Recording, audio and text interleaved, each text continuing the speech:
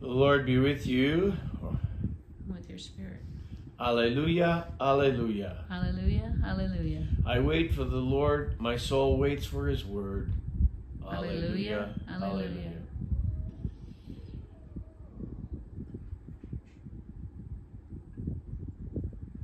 The Lord be with you. And with your spirit. A reading from the Holy Gospel according to Matthew. Glory to you. in my mind and on my lips and upon my heart. After he had fed the people, Jesus made the disciples get into the boat and precede him to the other side, while he dismissed the crowds. After doing so, he went up on a mountain by himself to pray. When it was evening, he was there alone. Meanwhile, the boat, already a few miles offshore, was being tossed about by the waves, for the wind uh, was against it. And during the fourth watch of the night, he came toward them walking on the sea. When the disciples saw him walking on the sea, they were terrified. It is a ghost, they said, and they cried out in fear. At once, Jesus spoke to them Take courage, it is I. Do not be afraid. Peter said to him in reply, Lord, if it is you, command me to come to you on the water. He said, Come.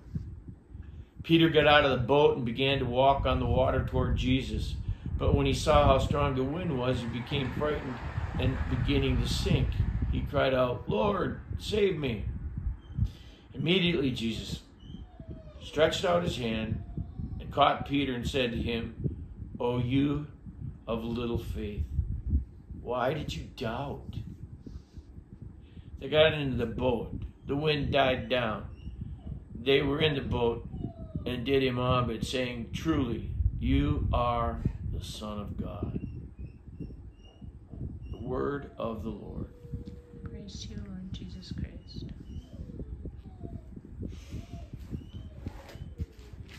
So it is the Sunday after the burial of my friend, Father Mark Beard. And if you haven't watched on YouTube the viral nature of his last homily before his death, which he did not know was coming, but I believe was totally prepared for. And it was there and then, a week ago Wednesday, that he lost his life, or rather, he gained it because he went home. And I believe it was a triumphant coming home. One that we could never imagine, and no ticker tape parade after the Super Bowl could ever match. Because it is truly and purely a love fest. Now, we were friends in the spirit and in this life because we were kindred. Now, his way of delivering is as different as his unique personality and spirit is. And so do I, but at the at the center of it, at the core, is a relationship with love itself, with God, Father, Son, and Holy Spirit. And in our case, we had the Blessed Mother on our side to help whisper into her son's ear, Please, son. Please, son, for this one. For God can do more than any man could do or hope for because he is God. And he uses us, if we choose to participate, as witnesses and instruments of that love and the faith that he gives us. The truth, the knowledge of Jesus Christ is the knowledge of truth itself and recognizes that which is not truth or unholy or not good. But the purpose of this homily is not to judge, it never is. And it mirrors Jesus on the water telling each of us, O ye of little faith, why do you doubt? Because he tells us to not be afraid. Coincidentally, it appears that statement in Scripture 365 times, which means you can find a Scripture passage every day that talks to you about not being afraid. Don't be afraid of that which is created. It says in Scripture, be afraid of the one who can destroy your soul who made it. You see, that's the kind of God that's above the wind and the waves and earthquakes and fires and desolation and annihilation. God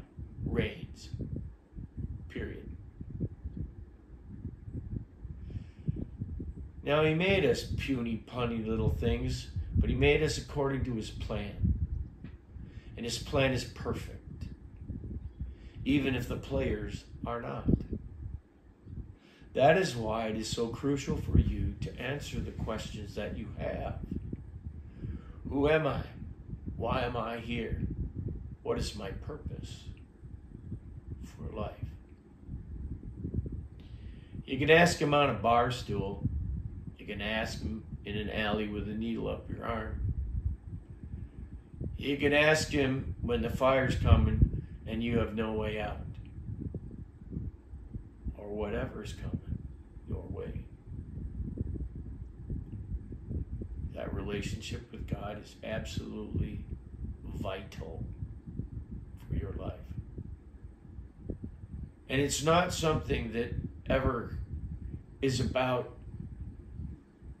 you know, some kind of hopeful unity in a, in, in a festival with everybody with flowers in their hair. That's nice and everything. But you know what? Doesn't save your soul. That's the one thing that's priceless about you is your soul. And that's why it's so important to get your soul in line and in shape for eternity. You know, there is a point of demarcation. There are boundaries in this life, but there's a great big boundary in eternity. And it is that fence that Father Mark is talking about. But the fence is owned by the evil one who wants to keep you bound and behind and on his side. But there's a gate. And there's only one gate. I'm sorry, fellas. It's not about any other name or any other theory, condition, cult, following, whatever. It's all about Jesus Christ. Because Jesus is the principal part of God's plan. And He sent His only beloved Son to suffer and die for us. Not to go around and have festivals and, right, everybody gets high and goes home and then regrets it the next day because they feel like junk. Um, wait a minute. How do you know that, Father? You don't need to know. I know. Get the point? So trust me on this. You don't get in except through Jesus. And you need to be prepared. You just don't know when that accident is going to happen to you. When the doctor goes and says you have cancer. When the doctor says you've got some malignancy in your body. When somebody else gives you a diagnosis, I don't care what it is for you, your financial ruin, the loss of your reputation and honor and praise and glory, only to be humbled into nothingness because that's all we are.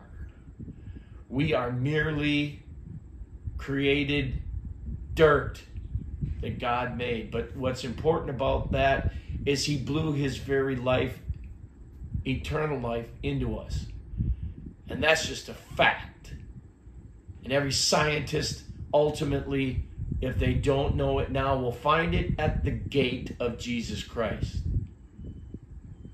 There is no other explanation, there is no other theory, there is no other thing created or in the metaphysics that will help you.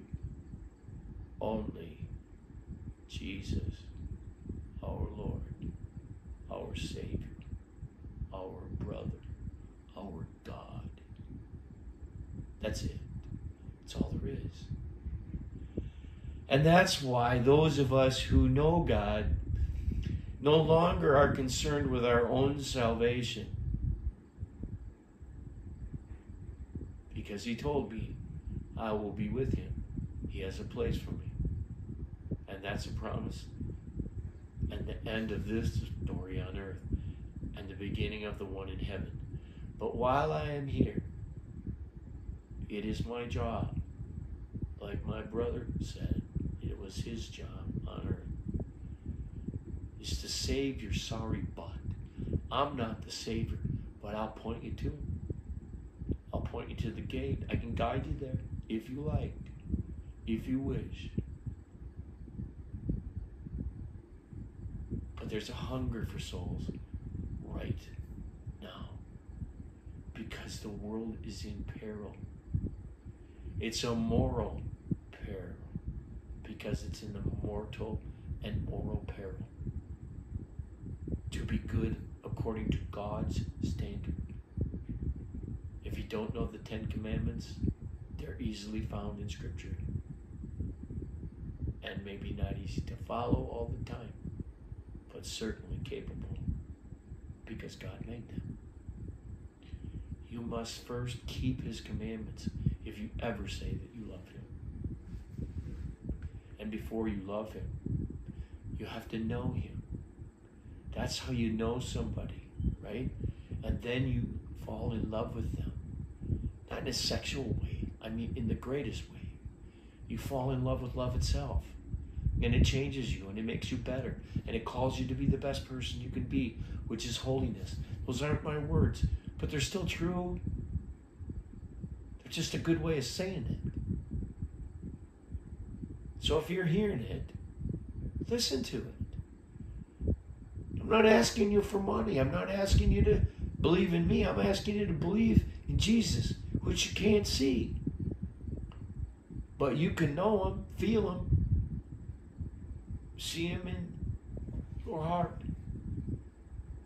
You can hear his wisdom and his encouragement in your ear. And your lips and mouth can proclaim him like no other creature.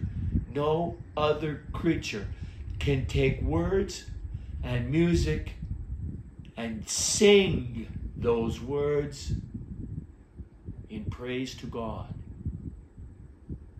It's called worship.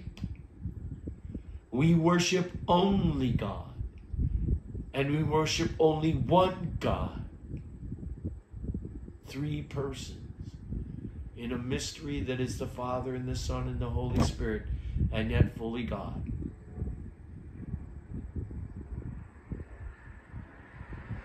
I once was ignorant, but it wasn't an innocent ignorance. But God decided to show mercy to me, a great sinner. And if He's willing to do it for me, He's willing to do it for you. Undoubtedly. There isn't a person walking on this earth that's ever been created by man that is unable to be saved. But you have to want it. So, it's in your heart because you're created to know God. And no other person will ever fit that enormous space in your soul that only God can. That immensity can only be filled by God and not by any other person because humanly we are frail and we will fail each other. But that is when we choose to love. We choose to love our wife when she's a nag in the worst sense of the term. Because there's a good nagging, there is. I won't go into it. but there's good meaning. Because she loves you deep down. And you are called to love when you might not want to. Still the same. We're called to love and forgive. Yeah, I know it's hard because people hurt us. I know. I know. Ask me how I know. The third time? I know. But I also know that in the morning there's a new day, a new dawn, a new beginning. The only day of your life is this day. This is the day to praise God. And if you don't know Him, ask somebody who does.